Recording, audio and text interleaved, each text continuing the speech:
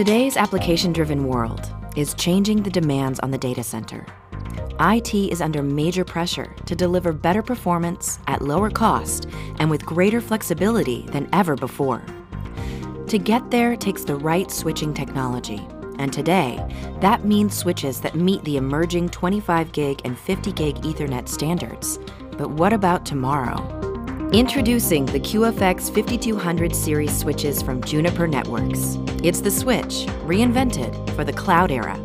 A powerful combination of high performance switching with the flexibility and functionality of a server.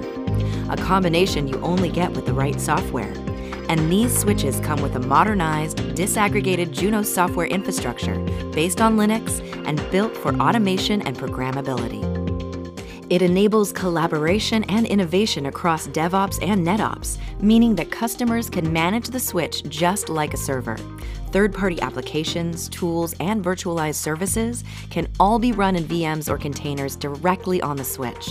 Better yet, running Junos on a VM enables in service software upgrades and fast reboots. And Juniper's open approach means these switches can be used across a variety of different architectures.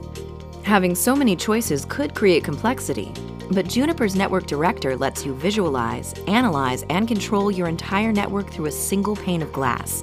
Its integration with VMware tools allows you to synchronize physical and virtual environments.